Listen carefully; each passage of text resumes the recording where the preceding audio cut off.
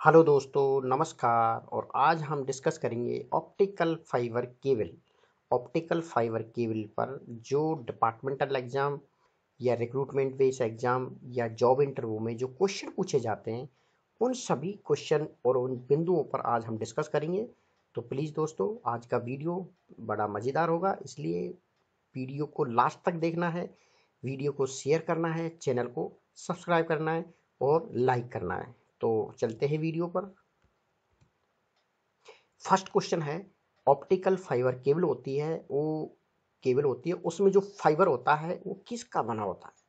सीधा सा क्वेश्चन है, ऑप्टिकल फाइबर में जो फाइबर होता है, वो सिलिका, ग्लास और प्लास्टिक के कॉम्बिनेशन से बना होता है। तो ओ केबल में फाइबर, सिलिका, ग्लास, प्लास्टिक का बना होता है। सेकेंड क्वेश्चन, फाइबर के अंदर के भाग, जो ऑप्टिकल फाइबर केबल है उसके अंदर का वह कौन सा भाग है, जिसमें से डाटा ट्रेवल करता है, डाटा का प्रवाह होता है। तो जो ओएफसी केबल होती है, उस ओएफसी केबल का जो फाइबर के दो पार्ट होते हैं, कोर और क्लैड। कोर ये हो गया और क्लैड कोर के ऊपर वाला भाग हो गया। इसलिए हमेशा जो सिग्नल ट्रेवल करता है, कोर में होकर के ही ट्रेवल करता है। ऑप्टिकल केबल के फाइबर का वह भाग जिससे प्रकाश सिग्नल परावर्तित होता है। तो जब हम कोर में सिग्नल डाटा ट्रेवल कराते हैं, ट्रांसमिट करते हैं, कोर में जब हमने डाटा सिग्नल ट्रांसमिट किया तो कोर की तुलना में क्लैड का जो रिफ्लेक्टिव इंडेक्स होता है, वो कम होता है। इसलिए यह जो क्लैड है, इसे क्लैड है, क्लैड सिग्नल को बाहर ना जा करके वापस उसी में रिफ्लेक्ट कर देती है। मतलब प्रकाश के पूर्ण आंतरिक परिवर्तन की जो घटना होती है, वो यहीं पर होती है। तो जो कोर से जो सिग्नल जाएगा, वो क्लैड से रिफ्लेक्ट होकर के वापस उसी मोड में मतलब कोर में हमने ट्रांसमिट किया और कोर में जो सिग्नल ट्रांसमिट किया, वो जिग जैक के रूप में जाएगा। तो जैसे ही जिग जैक में जब ऊपर जाएगा, क्लेड आएगा, क्लेड से वापस रिफ्लेक्ट होकर के वापस उसी मोड में जाता है और ये प्रकाश के पूर्ण आंतरिक परिवर्तन की घटना यही घटित होती है। क्योंकि कोर की तुलना में क्लेड का रिफ्लेक्टिव इंडेक्स कम होता है। इसी करके जो जिस मोड में हमने डाटा सिग्नल की जो लाइट पल्स भेजी है, वो उसी मोड में ही ट्रेवल करती हैं। ऑप्टिकल फाइबर केबल में फाइबर के कितने भाग होते हैं? तो ऑप्टिकल फाइबर केबल के दो पार्ट होते हैं, कोर और क्लेड। भी आंसर सही है। ऑप्टिकल फाइबर में डाटा ट्रांसमिशन किस रूप में होता है? ऑप्टिकल फाइबर केबल में डाटा का ट्रांसमिशन लाइट के पल्स के रूप में होता है। और जो लाइट की पल्स होती हैं, उसको हम लेजर या एलईडी के द्वारा जनरेट करते हैं। ऑप्टिकल फाइबर केबल का वह कौन सा भाग है जो लाइट सिग्नल को रिफ्लेक्ट करता है? तो इसका आंसर है बी क्लियर, क्योंकि जब हम लाइट सिग्नल को कोर में ट्रांसमिट करते हैं तो जो सिग्नल होता है वो जिग जैग के रूप में ट्रेवल करता है।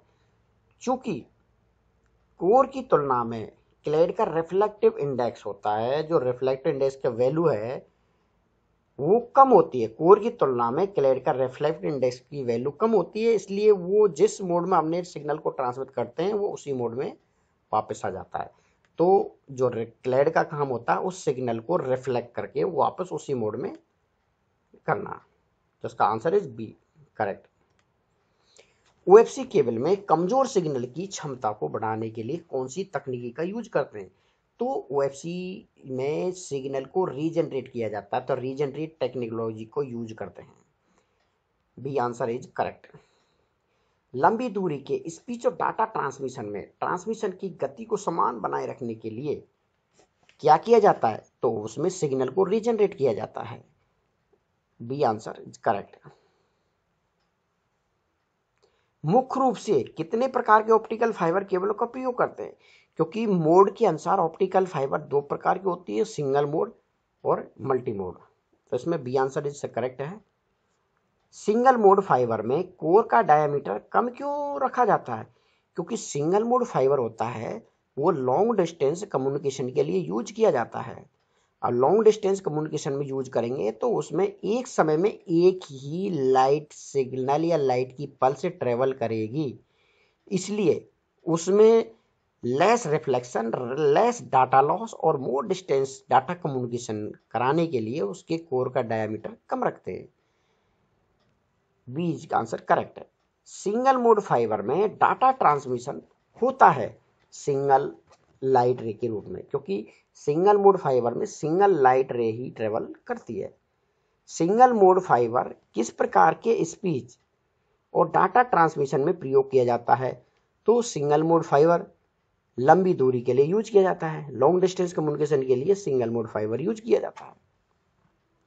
मल्टी मोड फाइबर में कोर का डायमीटर ज़्यादा क्यों रखते हैं?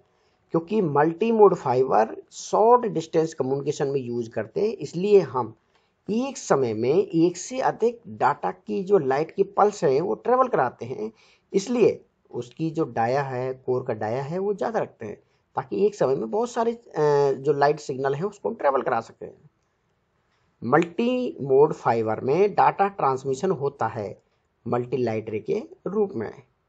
मल्टी मोड फाइबर किस प्रकार के स्पीच और डाटा ट्रांसमिशन में प्रयोग किया जाता है? तो multi mode fibre, short distance या कम दूरी में इस्तेमाल किया जाता है। ओएफसी केबल का प्रयोग वर्तमान में कॉपर की तुलना में बहुत ज़्यादा क्यों किया जा रहा है? क्योंकि ओएफसी केबल में हाई बैंडविड्थ होती है, सिक्योरिटी होती है और लो पावर लॉस होता है। इन सभी के करके ओएफसी केबल का प्रयोग कॉपर की तुलना में बहुत ज़्यादा किया जा रहा है। D answer correct. Optical fibre cable के दो फाइबरों को जोड़ने को क्या कहोगे? स्प्लाइसिंग। और ऑप्टिकल फाइबर के दो फाइबरों को जोड़ने को क्या कहते हैं? मतलब दोनों क्वेश्चन सेम है। स्प्लाइसिंग मशीन के द्वारा इस स्प्लाइसिंग को किया जाता है। ऑप्टिकल फाइबर केबल में डेटा ट्रांसफ़र किस सिद्धांत पर होता है? तो ऑप्टिकल फाइबर केबल में जो लाइट की जो पल्स होती है, टोटल इंटरनल रिफ्लेक्शन के सिद्धांत पर ट्रेवल करती हैं। इलेक्ट्रिकल सिग्नल को लाइट सिग्नल में बदलने का काम कौन सा करता है? इलेक्ट्रिकल सिग्नल को लाइट सिग्नल बदलने के लिए लेजर या एलईडी यूज़ करते हैं। लेजर होता है वो लॉन्ग डिस्टेंस के लिए और एलईडी होती है वो शॉर्ट डिस्टेंस के लिए यूज़ हम करते हैं। लाइट सिग्नल को इलेक्ट्रिकल सिग्नल में बदलने के लिए क्या यूज़ करोगे? तो जो लाइट की पल्स आती हैं, उसको इलेक्ट्रिकल की पल्स या इलेक्ट्रिकल सिग्नल में कन्वर्ट करना है। यदि लाइट सिग्नल को इलेक्ट्रिकल सिग्नल में बदलने के लिए क्या किया जाता है? तो जो लाइट की पल्सेज आती हैं, उसको इलेक्ट्रिकल पल्स में कन्वर्ट करने के लिए एपीडी या फिर फोटोडायोड का यूज़ करते हैं। अब एपीडी होती है। एपीडी का यूज़ हम लॉन्ग डिस्टेंस कम्युनिकेशन में यूज़ करते हैं। फ़ोटो डायोड का शॉर्ट डिस्टेंस कम्युनिकेशन में करते हैं। ऑप्टिकल फाइबर केबल में जो डाटा ट्रांसफ़र होता है, उसकी स्पीड कितने तक सपोर्ट करता है फाइबर केबल तो ये अप टू टेन जी तक ये सपोर्ट करता है। ऑप्टिकल फाइबर केबल में डेटा किस फॉर्म में ट्रांसफ़र होता है तो डिजिटल लाइट की पल्सेज होती हैं, जो इलेक्ट्रिकल पल्स को लाइट की पल्स में, डिजिटल लाइट पल्स में कन्वर्ट किया जाता है और उसको ट्रेवल कराया जाता है। तो डिजिटल लाइट पल्स में ये ट्रेवल करती है। ऑप्टिकल फाइबर में इंटरनल रिफ्लेक्शन होने का कारण क्या है? क्योंकि जो कोर की तुलना में क्लेड का रिफ्लेक्टिव इंडेक्स कम होता है, जिसके करके ये टोटल इंटरनल रिफ्लेक्शन की घटना होती है। तो इसका बी आंसर इज़ करेक्ट है। डिजिटल सिग्नल होता है, वो किस फॉर्मेट में होता है? Digital signal binary format zero और एक के रूप में होता है। ऑप्टिकल केबल को उसकी स्ट्रेंथ के आधार पर कितने भागों में बांटा जा सकता है? तो जो ऑप्टिकल फाइबर की जो स्ट्रेंथ है, उसके आधार पर दो भागों में बांट सकते हैं। पहला है ल्यूज ट्यूब और सेकंड है टाइट तो जो ल्यूज ट्यूब होती है, इसमें जो फाइबर होते हैं, उनके बीच में एक प्रोटेक्शन जेली भरी होती है, ताकि फाइबर में किसी प्रकार का कोई लॉसेज कुछ डैमेज वगैरह ऐसा ना हो। इसलिए उसकी प्रोटेक्शन के लिए एक प्रोटेक्शन जेली भरी होती है। और जो टाइट ट्यूब होती है, इसमें किसी प्रकार की कोई जेली नहीं होती। इसमें एक या तो मेटल का या फिर एक हार्ड प्लास्टिक के कॉम्बिनेशन से बना एक सेंसन स्ट्रेंथ होता है, जो इस केबल को प्रोटेक्ट करता है। तो उस ऑप्टिकल फाइबर को उसकी स्ट्रेंथ के आधार पर दो भाग में बांट सकते हैं, बांटते हैं लूज ट्यूब और टाइट ऑप्टिकल केबल को उसकी सिग्नल मोड सिग्नल जो होता है, उसकी मोड के आधार पर कितने भागों में बांटेंगे? उसको हम दो भागों में बांटेंगे। आंसर इज़ बी, करेक्ट है। इसमें पहला है सिंगल मोड और दूसरा है मल्टी मोड सिंगल मोड और मल्टी मोड दोनों भागों में हम बांटते हैं। मल्टी मोड फाइबर केबल में लाइट पल्स को क्रिएट करने के लिए क्या यूज़ किया जाता है? जो लाइट की पल्स क्रिएट करेंगे electrical signal is convert into light pulse with the help of LED क्योंकि जो मल्टी मोड फाइबर होता है, वो शॉर्ट डिस्टेंस कम्युनिकेशन में यूज़ होता है। शॉर्ट डिस्टेंस कम्युनिकेशन में जो आपका लाइट का सोर्स होता है, वो होता है एलईडी और जो सिंगल मोड फाइबर होता है, उसमें लाइट का सोर्सेस होता है लेजर तो 28 नंबर क्वेश्चन में आंसर होगा LED single mode fibre cable में लाइट पल्स को क्रिएट करने के लिए लेजर का यूज़ करेंगे, क्योंकि लॉन्ग डिस्टेंस कम्युनिकेशन में सिंगल मोड फाइबर यूज़ किया जाता है, इसलिए वहाँ पर लेजर यूज़ होगा। सिंगल मोड फाइबर में इलेक्ट्रिकल पल्स को क्रिएट करने के लिए क्या यूज़ करेंगे? अब इलेक्ट्रिकल पल्स क्रिएट करनी है तो सिंगल मोड फाइबर में जो लाइट सिग्नल आता है, लाइट सिग्नल को इलेक्ट्रिकल पल्स में कन्वर्ट करने के लिए फोटोडायोड का यूज़ करेंगे।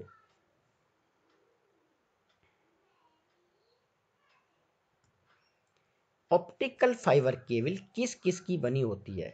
ऑप्टिकल फाइबर केबल का जो कंस्ट्रक्शन होता है, कोर होती है, क्लेड होता है, बफर होता है, जैकेट होता है तो इसका आंसर डी इज़ करेक्ट है। ऑप्टिकल फाइबर केबल में प्रकाश का पूर्ण आंतरिक परावर्तन कब होता है? प्रकाश का पूर्ण आंतरिक परावर्तन के लिए लाइट की रे होती है, सघन माध्यम से विरल माध्यम में आपतित होनी चाहिए। और आपतन कोण का मान क्रांतिक कोण से अधिक होगा, तभी ये टोटल इंटरनल रिफ्लेक्शन होगा। तो इसलिए इसका सी इज़ का आंसर करेक्ट ये ऑप्टिकल फाइबर केबल का प्रयोग वर्तमान में कहाँ यूज़ हो रहा है? वर्तमान समय में लोकल एरिया नेटवर्क है वाइल्ड एरिया नेटवर्क है मेट्रोपोलियन एरिया नेटवर्क मतलब सभी प्रकार के नेटवर्कों में यूज़ हो रहा है। तो इसका डी आंसर इज़ करेक्ट है।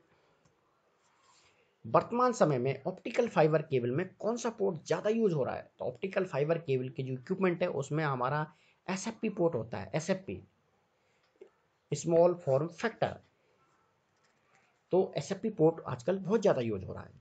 तो एस पोर्ट में कौन सा कनेक्टर सपोर्ट करेगा? एस पोर्ट होता है, उसमें एलसी कनेक्टर यूज़ होगा। तो एस पोर्ट में किस प्रकार कनेक्टर यूज़ होता है? LC connector lucent connector LC connector को बोलते हैं ल्यूसेंट कनेक्टर जो एस पोर्ट में यूज़ होता है। ओटीडीआर की फुल फॉर्म क्या है? Optical time domain reflectometer OTDR OTDR की फुल फॉर्म है ऑप्टिकल टाइम डोमेन रिफ्लेक्टोमीटर। ये answer is correct. Optical time domain reflectometer का उपयोग किया जाता है। ऑप्टिकल टाइम डोमेन रिफ्लेक्टोमीटर का प्रयोग ऑप्टिकल फाइबर में लिंक की connectivity, link loss, fibre loss, connector loss आदि की टेस्टिंग के लिए ओटीडीआर का यूज़ किया जाता है। तो इसका डी इज़ आंसर करेक्ट है optical time and domain reflectometer किस प्रकार की डिवाइस है? यह ऑप्टो इलेक्ट्रॉनिक डिवाइस है। B answer is correct fibre cable में लिंक में, फाइबर केबल के लिंक में पॉइंट दो पॉइंटों के बीच की दूरी को पता लगाने के लिए क्या करोगे? मतलब लिंक कनेक्टिविटी या दो लिंकों के बीच में या दो पॉइंटों के बीच की डिस्टेंस कैलकुलेट करने के लिए हम ओटीडीआर का यूज़ करते हैं। B is answer is correct end to end link loss link loss optical loss return loss point high losses आदि की कैलकुलेट करने के लिए हम ओटीडीआर का यूज़ करते हैं। B is answer is correct data को लंबी दूरी तक लो लॉस पहुँचाने के लिए कौन से नेटवर्क का उपयोग करोगे? तो ऑप्टिकल फाइबर केबल का नेटवर्क है, जो लॉन्ग डिस्टेंस कम्युनिकेशन के लिए लो लॉस के साथ में हम यूज़ करते हैं। सिंगल मोड फाइबर है। Single mode optical fibre cable में जो उसकी सिग्नल की जो वेवलेंथ होती है, वो कैसी हो, कैसी यूज़ करते हैं हम? तो इसमें 1310 नैनोमीटर से 1550 नैनोमीटर के बीच की जो वेवलेंथ होती है, उसको हम सिंगल मोड फाइबर में लॉन्ग डिस्टेंस कम्युनिकेशन के लिए यूज़ करते हैं। इसका ए आंसर है सही। Multi mode optical multi mode optical fibre cable में किस वेवलेंथ का प्रयोग करते हैं? तो जो मल्टी मोड होता है, वो शॉर्ट डिस्टेंस कम्युनिकेशन में यूज़ की होती है। इसलिए 850 से 1300 नैनोमीटर की जो वेवलेंथ होती है, उसको हम यूज़ करते हैं। ऑप्टिकल फाइबर की बैंडविथ क्या है? जो उसकी बैंडविथ है 900 900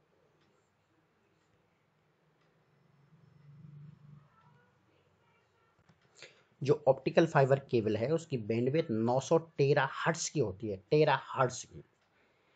W D W D M का पूरा नाम क्या है?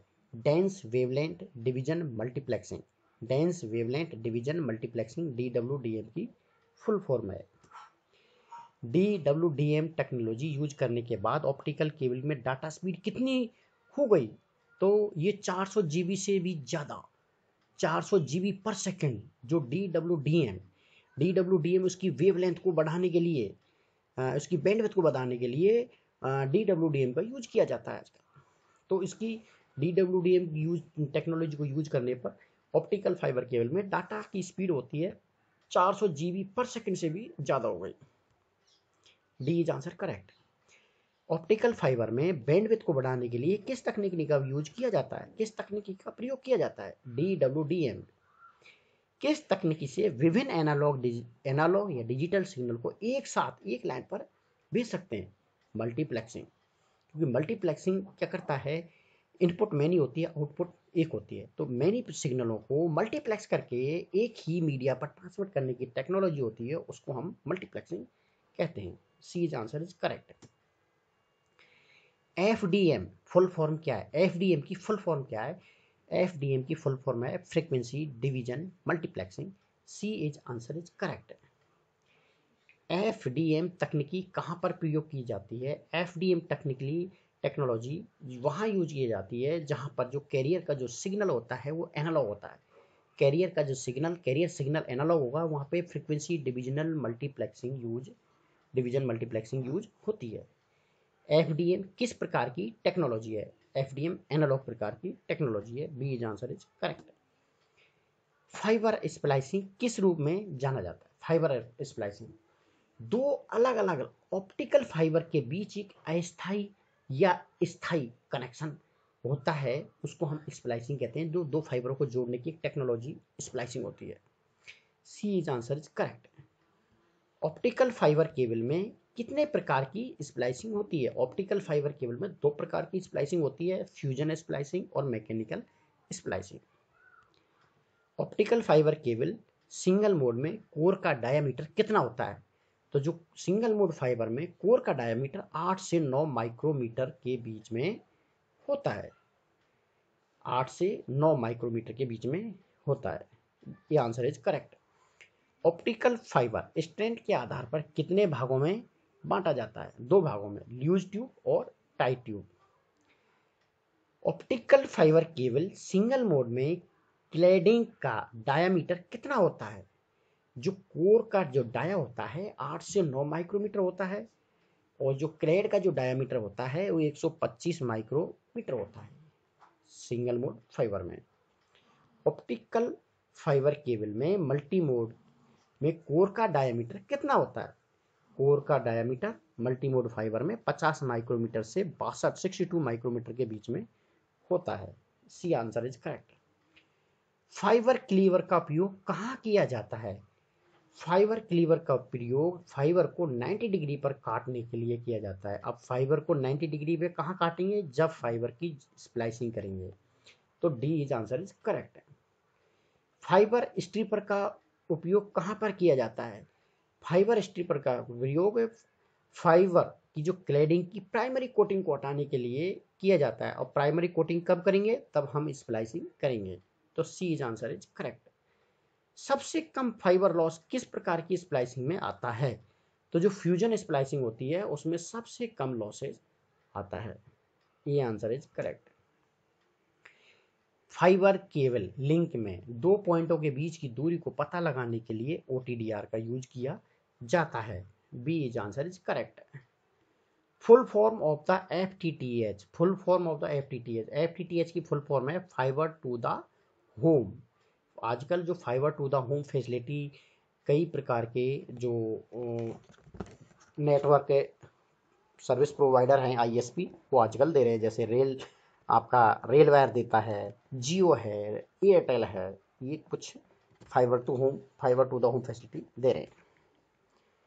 OFC गलत तरीके से ज़मीन में बिछाई गई है, जिसके कारण कुछ लॉस होता है। उसका पता लगाने के लिए कौन सा इक्विपमेंट यूज़ करोगे?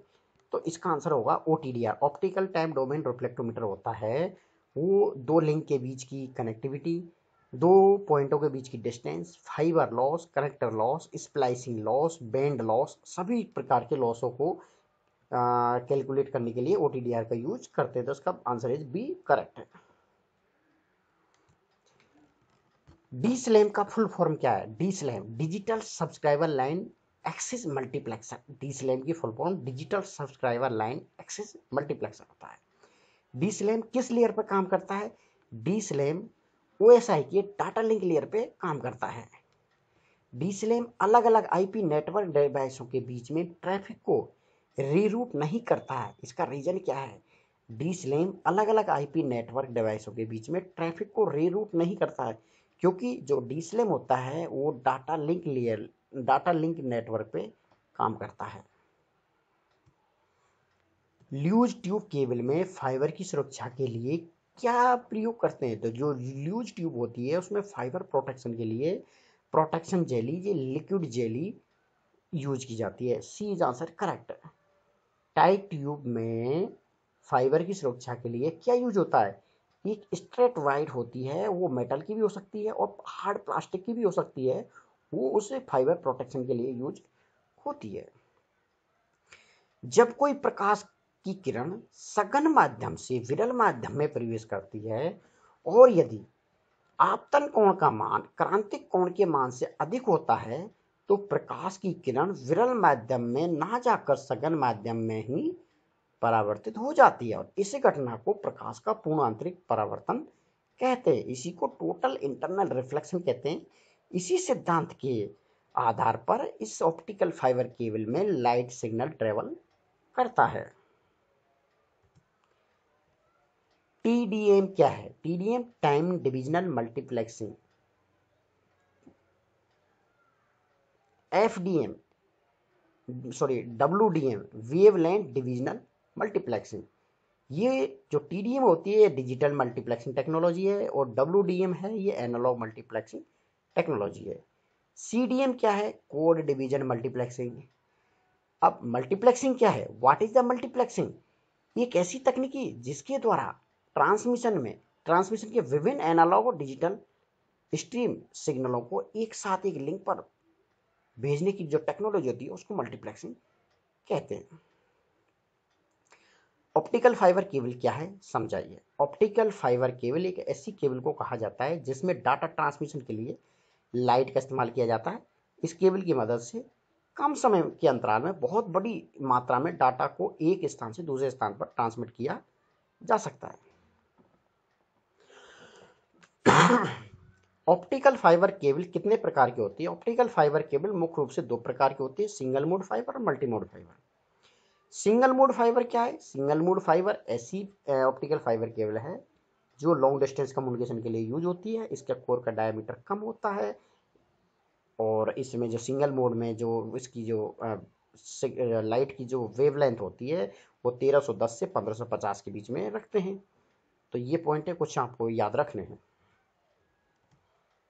तो दोस्तों, आज का ये वीडियो कैसा लगा? प्लीज़ कमेंट बॉक्स में बताएँ। और मेरा नेक्स्ट वीडियो होगा, वो आई लेयर पर ऑब्जेक्टिव टाइप क्वेश्चनों के ऊपर होगा।